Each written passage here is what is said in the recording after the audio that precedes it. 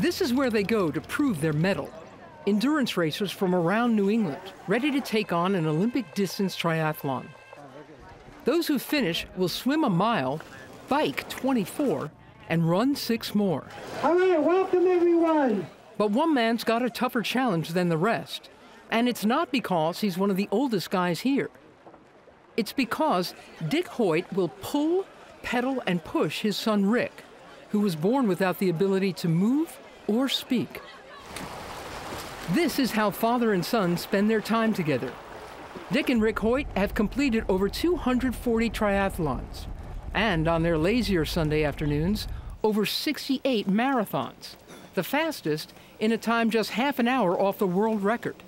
Yes, the real world record.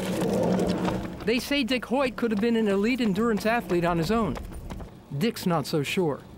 I just don't have the desire to be out there running by myself. I think it's just something that comes from his body to my body, and it makes us go faster.